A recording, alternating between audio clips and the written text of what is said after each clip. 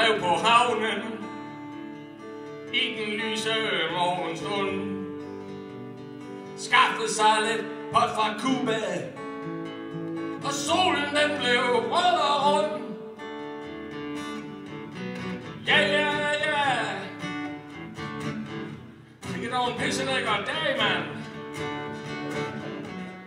Nej, nej, nej, min ven, siger du. Jeg scorede mig lidt strå på en rød galej. En rød galej, yeah.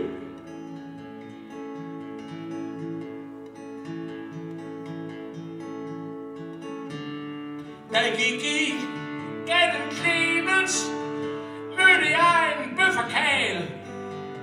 Skal vi jokke hen i porten? For her bor en kriminal.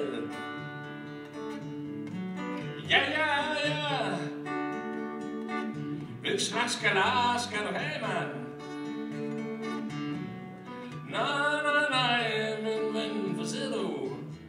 Jeg skulle skrive mig et strå på en rød galej fra Cuba.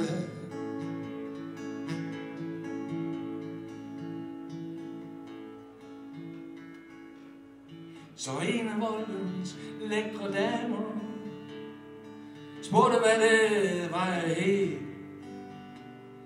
jeg kunne komme med hende op i kort og gårdes lejlighed.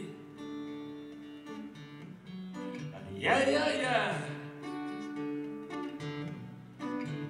Det var simpelthen en meget dyr sag. Men jeg vil sige, nej, nej, nej, min øh, mand, for jeg skulle fylde for meget. Jeg har fået mig lidt strå på en rød galej. En rød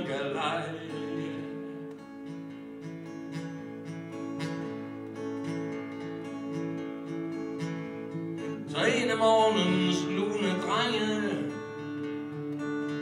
Tilbyd os en kasse top. Og hvis vi går med ham hjemme, og så 12-13 kilometer op. Nej, nej, nej.